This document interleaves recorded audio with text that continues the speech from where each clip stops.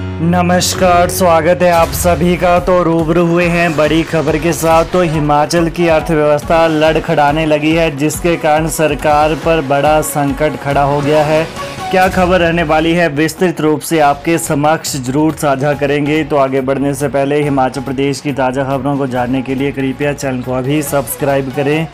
तो हिमाचल की अर्थव्यवस्था लड़खड़ाने लगी। अब खर्च और मुफ़्त सेवाओं में कटौती की तैयारी, पाँच कोर्ट केसों से दबाव में सरकार। कर्ज की बेसाखी से आगे बढ़ रही हिमाचल सरकार की आर्थिक मोर्चे पर मुश्किलें बढ़ती जा रही हैं।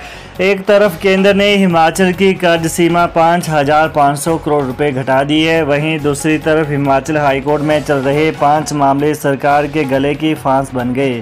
यह मामले नए वेतन आयोग के दैनिक वेतन भोगियों के भुगतान, अनुबंध अवधि की पेंशन और अनुबंध के बाद मिलने वाली वरिष्ठता से जुड़े हैं। कोर्ट ने इन पाँचों मामलों में कर्मचारियों और पेंशनरों को करोड़ों रुपए का भुगतान सुनिश्चित करने को कहा है। कई मामलों में कोर्ट ने सरकार को सख्त टिप्पणियाँ और चेतावनी भी दी है।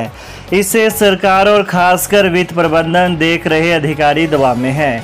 कोर्ट की फटकार के बाद अब सरकार की रिसोर्स मोबिलाइजेशन कमेटी भी आय के संसाधन बढ़ाने और खर्चों में कटौती करने के लिए सक्रिय हो गई है। वहीं टीडब्ल्यूसी मंत्री राजेश धर्माणी ने कहा कि जब कांग्रेस सत्ता में आई थी, तब राज्य पर अस्सी हज़ार करोड़ रुपए से अधिक का कर्ज था।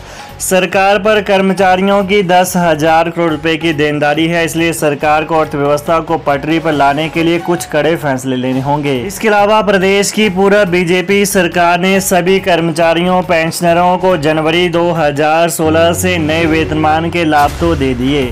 मगर इसका एरर अभी भी बकाया पड़ा है। दिसंबर 2022 में विधानसभा चुनाव से पहले 30 से चालीस हज़ार रुपए की एरर की किस्त ज़रूर दी गई है।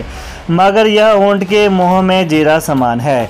कई कर्मचारियों व पेंशनर का तीन चार लाख रुपए से भी ज़्यादा का एरर बकाया है, जिसका कर्मचारी पेंशनर बेसब्री से इंतज़ार कर रहे हैं। तो कुल मिलाकर ये रही बड़ी खबर कि हिमाचल प्रदेश की आर्थिक सेहत बिगड़ती जा रही है, जिसके कारण हिमाचल सरकार को भी अब कड़े फैसले लेने पड़ेंगे।